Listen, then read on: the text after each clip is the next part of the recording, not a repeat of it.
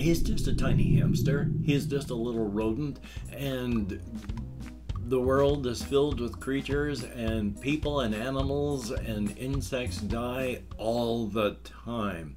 Oh, howdy, howdy, howdy. Finally, senior citizen here, and I'm ready to break some. The howdy, howdy, howdy. Nearly senior citizen here. Greetings, boys, girls, and all of our non binary friends, and welcome to this a brand new day. Hokey smokes, little ghost is still hanging in there. I thought for sure he was going to be gone when I got back from walkies last night from the way he, he was breathing and barely moving.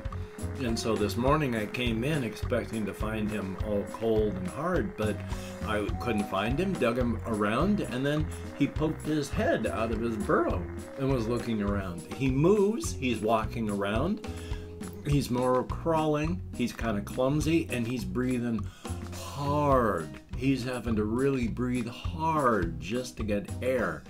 But he's eating and drinking and being as active as he can, he's still uh, wheezing and he has to go puh, puh, puh, to try and be able to breathe. And it's just, uh, I, I don't want him to suffer, but I don't want to, you know, euthanize him if he's going to get better. So, but he's he's a hanging in there and of course, late, slow, um, uh, uh, front loading of videos. Hey, if you could toss me a like, that'd be very cool. If you could subscribe to the channel, that'd be awesome. If you could leave me a comment, any comment at all, even for the algorithm, that would be awesome. Double plus good. And I would like to thank each and every one of my Patreon patrons. These literally beautiful and literally awesome people that are, in fact, literally beautiful and literally awesome. They help to keep me, my kitty cat, and my hamster as long as he's going to be alive, alive. And that is very appreciated, each and every one of these people. If you would like to become one of these beautiful and awesome people, there are links in the video description. If you'd like to help me out without becoming a patron, there are links to a PayPal for donations. If you'd like to help me out without sending money, there's an Amazon wish list link. And of course, there's a post office box where you can send me postcards or keychains or anything at all that you would like, and I'll open them up in video. Yay! front loading of videos over, thumbs up. Oh, my nose is, is like damn. Gotta love that. So, yeah, it's a brand new day. I didn't get much done. I have been worried sick about Ghost. I mean, I was crying yesterday, just bawling because I felt so horrible. Ah, so joy. I mean, he's just a tiny hamster. He's just a little rodent, and the world is filled with creatures and people and animals and insects die all the time. There's a beginning and a middle and an end to everything that exists, and we're not in charge of when that happens. So I really shouldn't worry, but I do, especially since with all of our pets, we give them a little piece of our heart. And when they go, we don't get that back. It hurts and I I am a hamster person. There is something about hamsters that just speaks to me inside. Just like I'm a cat person. There is something about cats that just speaks to me inside. I like dogs, I like all animals, but I don't like dogs enough that I want one. I mean, they're nice, and I understand why people like them. I mean, I like cats. Understand dog people like dogs, and dogs speak to them the same way. So, thumbs up for that, but uh, they don't for me. For some reason, rodents and stuff like that really speak to my heart. Don't know why. Thumbs up. But I have been worried sick, so I haven't done a whole lot. Still haven't gotten any of the solo RPG stuff done that I've wanted to do. I had a lot of falling asleep problems yesterday for a time. And then after that, just feeling awful, dithering because I felt bad because of him wanting to help, not being able to do anything, and because of that being just locked. And, uh, but I went walkies, and that was good. I was able to think as much as I can. And then I came home and tried to play video games and listen to music and do what I could. And so at least life goes on, I've been thinking about all sorts of things. I got some stuff written down and some stuff not written down. uh, one of the things that I watched a video where this one person was talking about Gen Z humor and how a lot of it is just you can't figure it out or is cosmic existential stuff and how some of it is funny because you know it's evidence of somebody's psyche breaking down and that's funny. And the thing is while i was listening to that i went well yeah that is funny.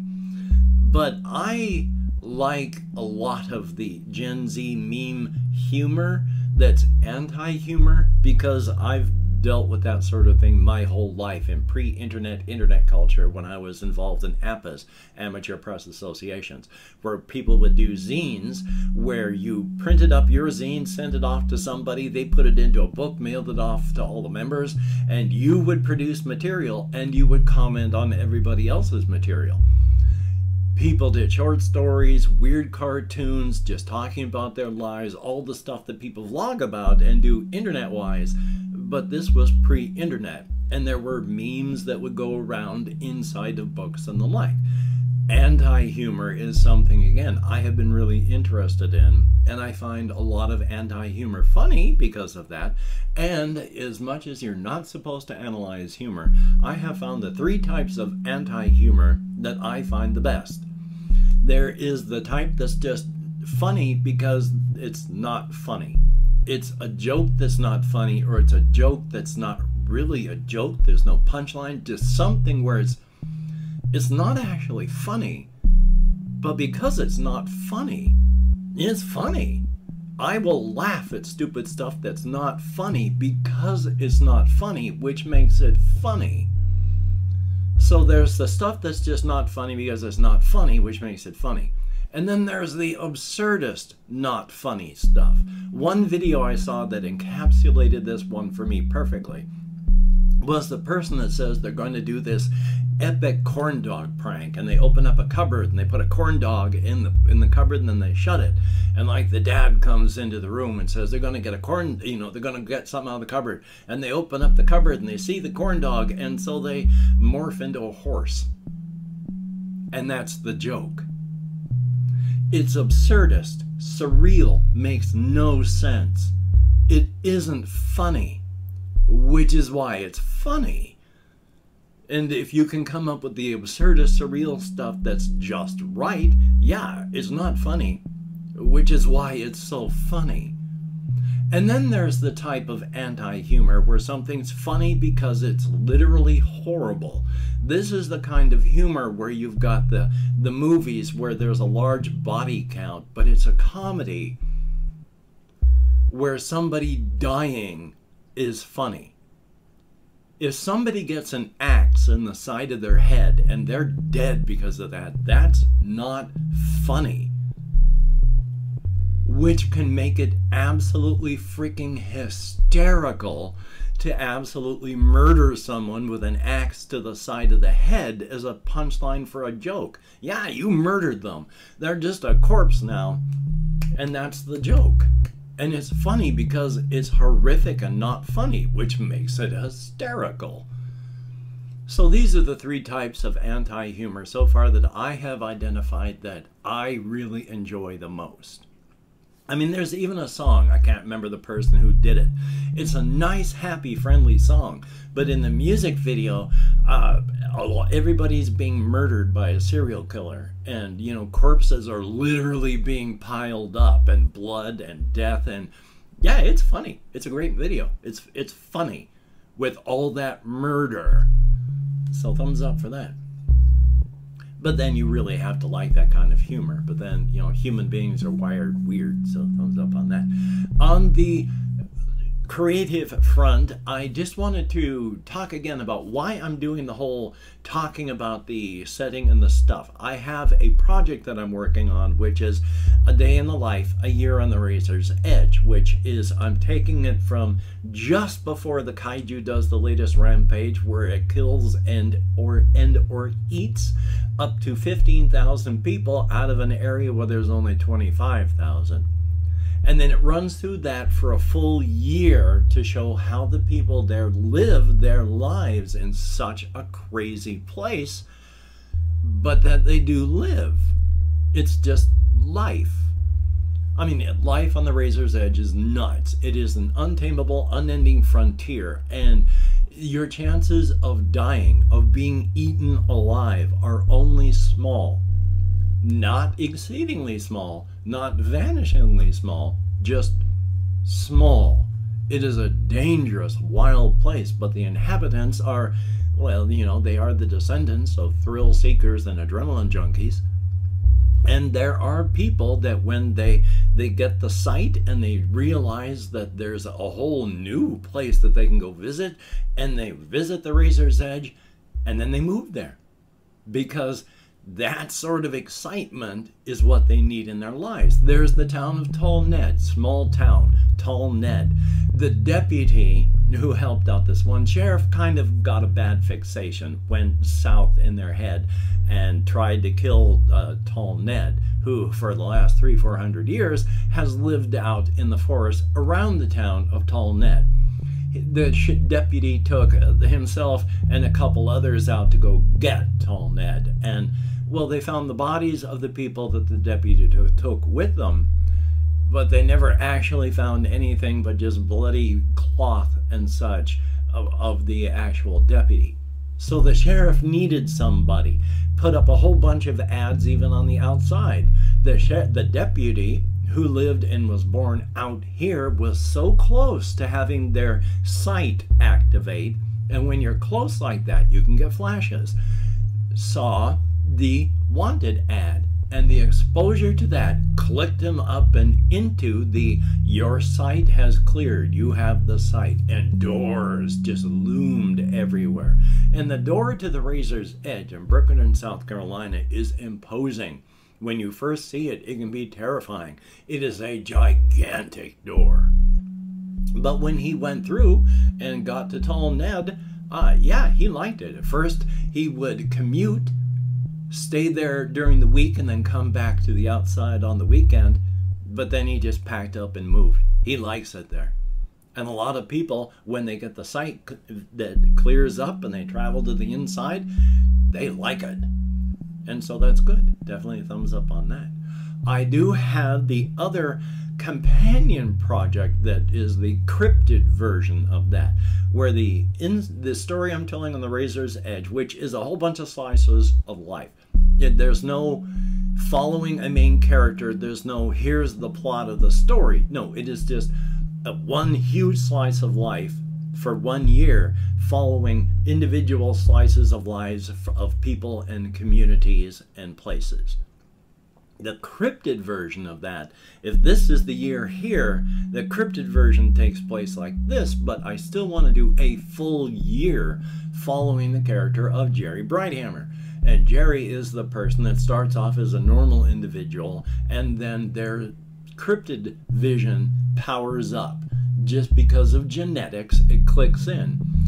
And Jerry is one of those people that they have the maximum human cryptid vision their their vision has cleared up maximally. He's getting so much info that's coming into all of his senses.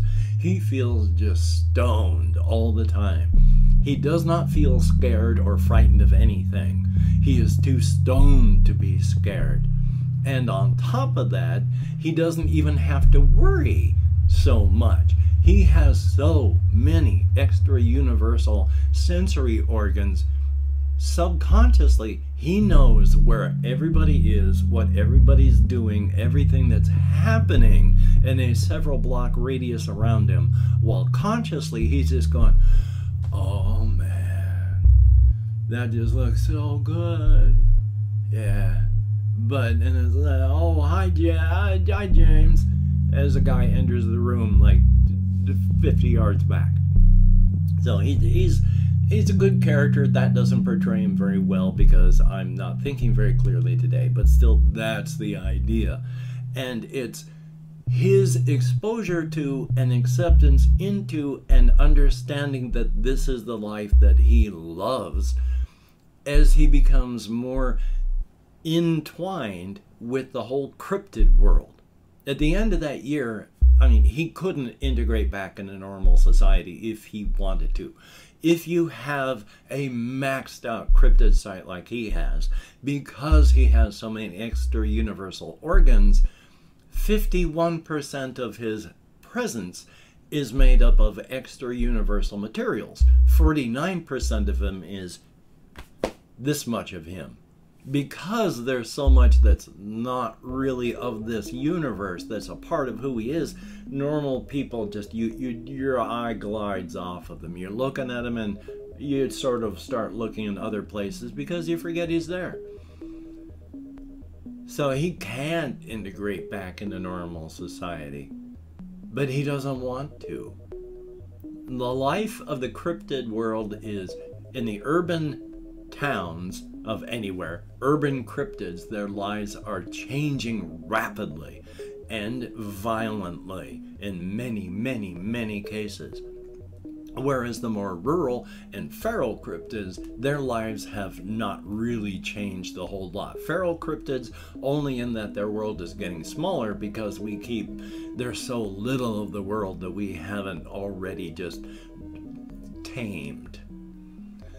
Rural cryptids are the ones that live in the smaller areas, and urban cryptids are the ones that are they're gathering in urban centers, like the fictional town of Brookerton, South Carolina, with 1.5 to 2 million people.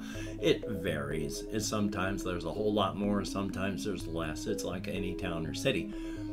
But there's several thousand cryptids that live around and in that town now and lots of cryptids are starting to do that. And as they are just warped and deformed reflections, that's the word, of us, of our dreams, our hopes, our nightmares, our fears, and our best and our worst. They are not changing as a result of the outside world. They are not changing as, as a result of what they would like to do. They are being forced into different activities and changes genetically based on how what we fear. It's horrible. I am really just, just mad at myself for the terrible things I've done to these people. But yeah, the, because of this and the way their lives are changing and the way that they're shackled to us, the lives of urban cryptids right now are in flux. And life as an urban cryptid is often brutal and painful and short.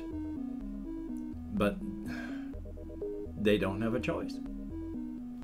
And I've opened up 24 hours worth of comments on my community tab. Going to go through and thank however many people have left me comments in the past 24 hours. It's never many, but that's okay as long as it's more than zero. Thumbs up and thank you much. If I mispronounce the username, no disrespect is intended. And even though I count in American Sign Language, well, you've already seen how my brain is working or not working today. Joy. So we have Jesse Koskinen, thumbs up, thank you, and it's always good to see you in the comments, my friend. And we had Adrian, FNTES, oh my gosh, in the past, what, 30 years of them since Doom has come out, it, they've only sped up with the number of mods and total conversions and maps that are have been made for Doom. It's sped up. we have J A Y Y. Uh, thank you very much, and here's hoping that things go well for you as well. Jesse Kaleno, thumbs up, and thank you very, very much. We have Faux Flare, thumbs up, thank you. Vortex, greatly appreciated, and I'm hoping to get some more Walkies videos done here real soon. We have Fat Shroom 666, thumbs up and thank you. Chris, well, whichever name you choose, just let me know and I will make sure to call you by that thumbs up. Ben B, greatly appreciated. And oh, yes, I did, I mentioned in comments, I do want to talk about horror movies and such, but I haven't seen any movies at all in so many years. Both not having money, not having a vehicle, and my ADHD. I haven't seen any movies at all since my wife died, so I can't really talk about any movies. I haven't seen any.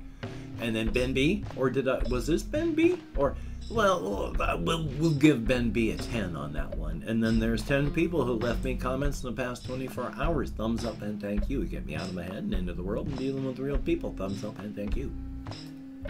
Hopefully, uh, I'm going to be able to do things instead of just being ruined by what's happening with Little Ghost. I was trying to see if he's gone back into his burrow, which he has. So he's still active, still hanging in there, but I'm just worried sick. Hopefully, you can get done the things you want to get done. Thumbs up for that. And of course, with diseases and such out there, please just be careful. You don't need to get sick. You don't need to get other people sick. Just be careful, be cautious. Thumbs up for that. So, until we meet again, you take care. Have a great day today. I will see you on the flip side, and that is a very good thing.